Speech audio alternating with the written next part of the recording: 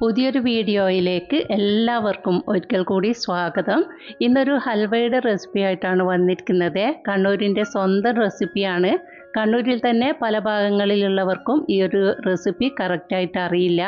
പക്ഷേ നമ്മുടെ ഈ ഒരു ഏരിയയിലൊക്കെ വളരെ ഫേമസ് ആയിട്ടുള്ള ഒരു ട്രഡീഷണൽ പലഹാരം കൂടിയാണ് ഈ ഒരു ഹൽവ. അപ്പോൾ ഇതെന്ത് വെച്ചിട്ടാണ് തയ്യാറാക്കിയിരിക്കുന്നതെന്ന് വീഡിയോ സ്കിപ്പ് ചെയ്യാതെ കണ്ടു നോക്കുക. ഇൻഗ്രീഡിയൻസ് ഒക്കെ വളരെ കുറവാണെങ്കിലും അത്രക്കങ്ങ് സിമ്പിളല്ല ഇത് ഉണ്ടാക്കാൻ വേണ്ടിയിട്ട് കുറച്ച് പണിയുണ്ട് കേട്ടോ. ഉണ്ടാക്കിയെടുക്കാൻ വേണ്ടിയിട്ട്. പക്ഷെ ഉണ്ടാക്കി കഴിഞ്ഞാൽ അപാര ടേസ്റ്റാണ് കുട്ടികൾക്കും വലിയവർക്കും ഒക്കെ ഒരുപോലെ ഇഷ്ടപ്പെടുന്ന ഒരു പലഹാരം കൂടിയാണിത്. അപ്പോൾ വീഡിയോ സ്കിപ്പ് ചെയ്യാതെ കണ്ടു നോക്കണം. ശേഷം നിങ്ങളും ഇതുപോലെ ഒന്ന് ട്രൈ ചെയ്ത് നോക്കണേ. അപ്പോൾ പെട്ടെന്ന് തന്നെ നമുക്ക് റെസിപ്പിയിലോട്ട് പോയാലോ?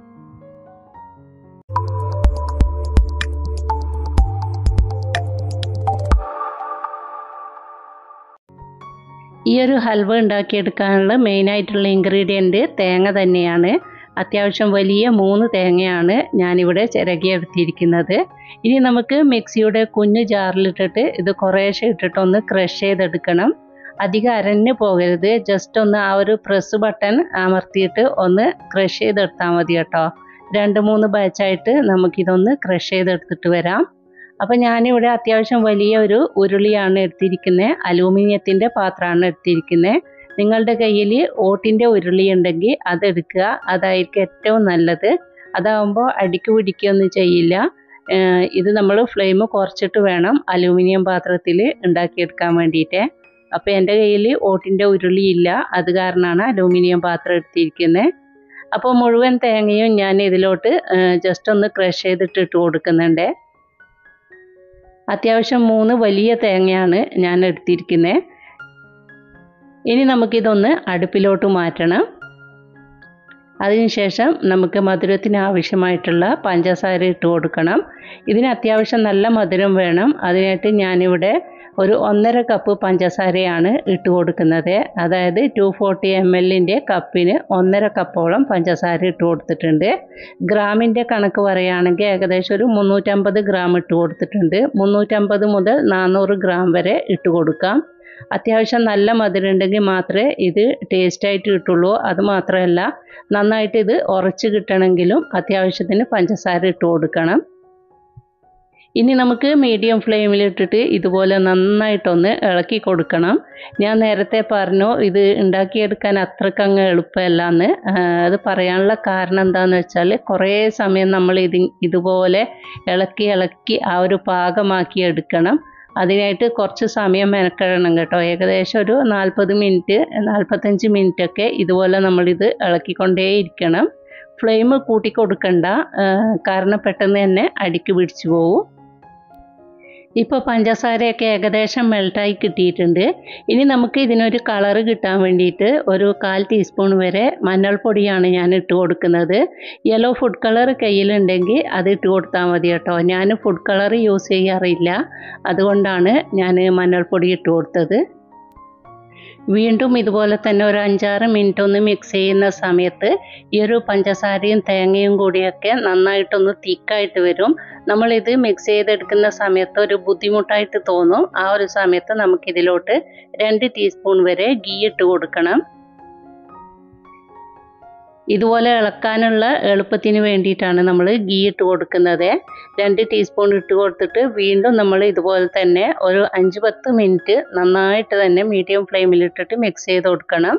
കണ്ടിന്യൂസ് ആയിട്ട് മിക്സ് ചെയ്യേണ്ട ആവശ്യമില്ല. ഇടയ്ക്കിടെ നമുക്ക് അവിടെ വെച്ചിട്ട് ഒരു ഒന്ന് രണ്ട് മിനിറ്റ് ഒക്കെ കഴിയുമ്പോൾ വീണ്ടും മിക്സ് ചെയ്ത് കൊടുത്താൽ മതി. ഫ്ലെയിം കൂട്ടി കൊടുക്കാതിരുന്നാൽ മതി കേട്ടോ. ഫ്ലെയിം കൂട്ടിക്കഴിഞ്ഞാൽ പെട്ടെന്ന് തന്നെ ഇത് അടിക്ക് പിടിച്ചു പോകും ഇതുപോലെ നന്നായിട്ടൊന്ന് കട്ടിയായ രൂപത്തിലാകുന്ന സമയത്ത് നമുക്കിതിലോട്ട് കുറച്ച് ഏലക്കപ്പൊടി ചേർത്ത് കൊടുക്കണം. നല്ലൊരു ഫ്ലേവറിന് വേണ്ടിയിട്ടാണ് ഏലക്കപ്പൊടി ചേർത്ത് കൊടുക്കുന്നത്.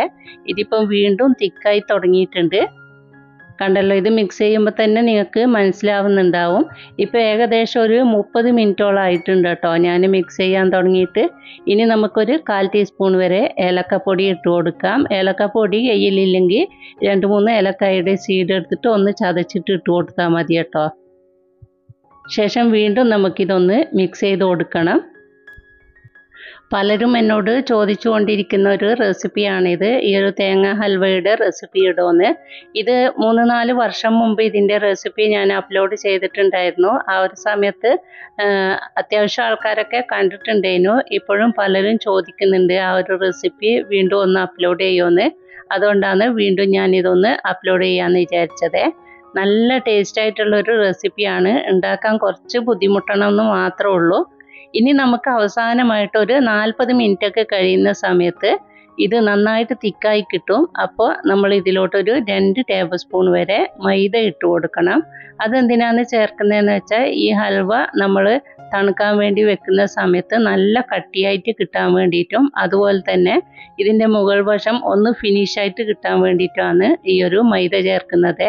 വെറും രണ്ട് ടേബിൾ സ്പൂൺ മാത്രം ചേർത്താൽ മതി. കൂടുതലൊന്നും ചേർത്ത് കൊടുക്കരുത്. അതിനുശേഷം വീണ്ടും നന്നായിട്ടൊന്ന് മിക്സ് ചെയ്ത് കൊടുത്തിട്ട് എല്ലാം കൂടി ഒന്ന് യോജിപ്പിച്ചെടുക്കണം. ഇനി നമുക്കിത് സെറ്റ് ചെയ്തെടുക്കാനുള്ള പാത്രം ഒന്ന് ഗ്രീസ് ചെയ്തെടുക്കണം. അതിനായിട്ട് കുറച്ച് ഗീ ഒന്ന് നമുക്ക് എല്ലാ സ്ഥലത്തും സ്പ്രെഡ് ചെയ്ത് കൊടുക്കാം. ഇതിനു വേണ്ടിയിട്ട് ഗീ തന്നെ ഉപയോഗിക്കണം. ഓയിലൊന്നും ഉപയോഗിക്കരുത്. ഗീ ആകുമ്പോഴായിരിക്കും ഇതിന്റെ യഥാർത്ഥ ടേസ്റ്റ് ഉണ്ടായിരിക്കുക. ഈ ഒരു പാത്രത്തിലും അതുപോലെ തന്നെ ഒരു ചെറിയ പ്ലേറ്റ് ഞാൻ എടുത്തിട്ടുണ്ട്. സ്റ്റീലിന്റെ പ്ലേറ്റ് എടുത്തിട്ടുണ്ട്. ഇതിന്റെ പുറകു വശത്തും കുറച്ച് ഗീ ഒന്ന് സ്പ്രെഡ് ചെയ്ത് കൊടുക്കുന്നുണ്ട്. അതെന്തിനാണെന്ന് ഞാൻ പറഞ്ഞുതരാം. ഇനി നമുക്ക് ചൂടോട് കൂടി തന്നെ ആ ഒരു ഹൽവയുടെ മിക്സ് ഇതിലോട്ട് ഇട്ട് കൊടുക്കണം. ഇത് നമ്മൾ തണുക്കാൻ വേണ്ടി ഫ്രിഡ്ജിലൊന്നും വെക്കേണ്ട ആവശ്യമില്ല കേട്ടോ. ഇത് പുറത്ത് തന്നെ വെച്ച് ചൂട് തണുക്കുമ്പോൾ തന്നെ ഇത് നന്നായിട്ട് തിക്കായി കിട്ടും. ഇനി ഒരു സ്പൂൺ ഉപയോഗിച്ചിട്ട് എല്ലാ സ്ഥലത്തും ഇതൊന്ന് നിരത്തി കൊടുക്കുക. കൈയിടരുത് നന്നായിട്ട് ചൂടുണ്ടാവും. അപ്പോൾ ഇതുപോലെ ഒന്ന് നന്നായിട്ട് നിരത്തി കൊടുത്തതിന് ശേഷം നമ്മൾ നേരത്തെ ഓയിൽ സ്പ്രെഡ് ചെയ്തിട്ട് വെച്ച ആ ഒരു പ്ലേറ്റ് ഉണ്ടല്ലോ അത് വെച്ചിട്ട് നന്നായിട്ട് പ്രസ് ചെയ്തിട്ട് ഒന്ന് ഇതിന്റെ മുകൾ വശമൊക്കെ ഒന്ന് ഫിനിഷ് ആക്കി എടുക്കണം. ഇതുപോലെ ഒരു പ്ലേറ്റോ അല്ലെങ്കിൽ സ്റ്റീലിന്റെ ഗ്ലാസ്സോ എന്തെങ്കിലും എടുത്താൽ മതി കേട്ടോ. ഇതുപോലെ നന്നായിട്ടൊന്ന് പ്രസ് ചെയ്തിട്ട് തന്നെ നമ്മൾ മുകൾ വശം ഫിനിഷ് ആക്കി എടുക്കുക.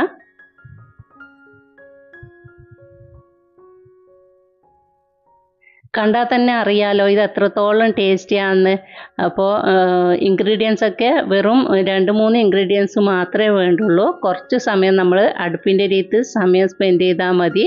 എല്ലാവർക്കും ഉണ്ടാക്കിയെടുക്കാൻ പറ്റും കേട്ടോ. ഇനി നമ്മൾ ചൂടോടുകൂടി തന്നെ ഇതിന്റെ മുകളിലൊന്ന് കട്ടിട്ട് കൊടുക്കുന്നുണ്ട്. ഇതെന്തിനാന്ന് വെച്ചാൽ തണുത്ത് ഉറക്കുന്ന സമയത്ത് പെട്ടെന്ന് തന്നെ ഇത് കട്ട് ചെയ്തിട്ട് കിട്ടാൻ വേണ്ടിയിട്ടാണ് പീസ് പീസായിട്ട് കിട്ടാൻ വേണ്ടിയിട്ടാണ് ഇതുപോലെ ചെയ്യുന്നത്. ചൂടോടുകൂടി തന്നെ ഇങ്ങനെ ചെയ്തു കൊടുക്കുകയാണെങ്കിൽ പൊട്ടൊന്നും ചെയ്യാതെ നന്നായിട്ട് പൊടിഞ്ഞു പോകുകയൊന്നും ചെയ്യാതെ നന്നായിട്ട് നമുക്കിത് കട്ട് ചെയ്തെടുക്കാൻ പറ്റും. ഷേപ്പൊക്കെ നമ്മുടെ ഇഷ്ടത്തിനനുസരിച്ചിട്ട് ചെയ്യാം കേട്ടോ ഞാനിപ്പോൾ ഇതുപോലെയാണ് ചെയ്തെടുക്കുന്നത്. പണ്ട് പണ്ടേ ഇതേ രീതിയിൽ തന്നെയാണ് നമ്മളിത് കട്ട് ചെയ്തെടുക്കുന്നത്. ചെറിയ പീസോ വലിയ പീസോ എങ്ങനെ വേണമെങ്കിലും ആക്കിയെടുക്കാം. ഇതിപ്പോൾ ഏകദേശം ഒരു കിലോഗ്രാമിൽ കൂടുതൽ ഉണ്ടാവും കേട്ടോ. മൂന്ന് തേങ്ങയ്ക്ക് ആക്കുമ്പോൾ ഏകദേശം ഒരു കിലോഗ്രാമോളം വരും. അപ്പോൾ ഇത് മുഴുവനായിട്ടും കട്ട് ചെയ്ത് കൊടുത്തതിന് ശേഷം ഇതിന്റെ മുകളിലൊക്കെ ആ ഒരു കുഞ്ഞു കുഞ്ഞു പീസൊക്കെ ഒന്ന് ഫിനിഷായിട്ട് കിട്ടാൻ വേണ്ടിയിട്ട് വീണ്ടും ഇതുപോലെ ഒന്ന് പ്രസ് ചെയ്ത് കൊടുക്കുന്നുണ്ട്. അതിനുശേഷം ഒരു മണിക്കൂർ വെച്ചാൽ മതിയാവും. നന്നായിട്ട് തന്നെ കട്ടിയായി കിട്ടും. ഇപ്പോൾ ഏകദേശം ഒന്നര മണിക്കൂറോളം കഴിഞ്ഞിട്ടുണ്ട്. ഇത് നന്നായിട്ട് ചൂടൊക്കെ തണുത്ത് നന്നായിട്ട് തന്നെ കട്ടിയായി കിട്ടിയിട്ടുണ്ട്. ഇനി നമുക്കിതൊന്ന് കട്ട് ചെയ്തിട്ട് നോക്കാം. ആദ്യം ഈ ഒരു സൈഡ് വശത്തുള്ള കുഞ്ഞു പീസൊക്കെ നമുക്ക് എടുത്തു മാറ്റി വെക്കാം. അതിനുശേഷം ഇതേ ചട്ടുകം തന്നെ ഉപയോഗിച്ചിട്ട് ജസ്റ്റ് ഒന്ന് പ്രസ് ചെയ്ത് കൊടുത്താൽ മതി. ഇതൊക്കെ പെട്ടെന്ന് അടർന്ന് കിട്ടും കേട്ടോ. അടിയിലായിട്ട് നമ്മൾ ഗീ സ്പ്രെഡ് ചെയ്ത് കൊടുത്തുകൊണ്ട് പെട്ടെന്ന് തന്നെ ഇത് വിട്ട് വരും. കണ്ടല്ലോ. കണ്ടാൽ തന്നെ അറിയാലോ എത്രത്തോളം ടേസ്റ്റിയാണെന്ന് നല്ല അടിപൊളി ടേസ്റ്റാണേ അപ്പോൾ തീർച്ചയായിട്ടും നിങ്ങളൊന്ന് ട്രൈ ചെയ്ത് നോക്കിയിട്ട് അഭിപ്രായം അറിയിക്കണം. ഇനി ആർക്കും അറിയില്ല എന്ന് പറയരുത്. നല്ല വിശദമായിട്ട് തന്നെ ഞാൻ ഇത് പറഞ്ഞു തന്നിട്ടുണ്ട്. ഇൻഗ്രീഡിയൻസ് ഒക്കെ കുറവാണെങ്കിലും കുറച്ച് ബുദ്ധിമുട്ടണമെന്ന് മാത്രമേ ഉള്ളൂ. നമ്മൾ ഒരു അരമണിക്കൂറോളം അടുപ്പിന്റെ അടുത്ത് സ്പെൻഡ് ചെയ്താൽ മാത്രം മതി കേട്ടോ. നല്ല ടേസ്റ്റി ആയിട്ടുള്ള തേങ്ങ ഹൽവ ഇവിടെ തയ്യാറായിട്ടുണ്ട്. എല്ലാവരും ഒന്ന് ട്രൈ ചെയ്ത് നോക്കിയിട്ട് അഭിപ്രായം അറിയിക്കുക. വീഡിയോ ഇഷ്ടപ്പെട്ടിട്ടുണ്ടെങ്കിൽ തീർച്ചയായിട്ടും നിങ്ങളൊന്ന് ലൈക്ക് ചെയ്ത് സപ്പോർട്ട് ചെയ്യണം.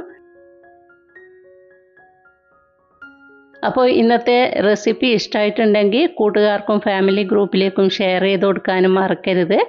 ചാനൽ പുതുതായിട്ട് കാണുന്ന കൂട്ടുകാരുണ്ടെങ്കിൽ ഒന്ന് സബ്സ്ക്രൈബ് ചെയ്യാനും വിട്ടുപോകല്ലേ? ഇൻഷാല്ല നല്ലൊരു വീഡിയോയുമായിട്ട് നമുക്ക് വീണ്ടും കാണാം. അതുവരെ എല്ലാവർക്കും Thanks for watching.